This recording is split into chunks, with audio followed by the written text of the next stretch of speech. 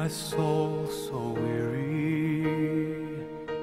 When troubles come and my heart burdened be then I am still and wait here in the silence until you come and sit a while with me.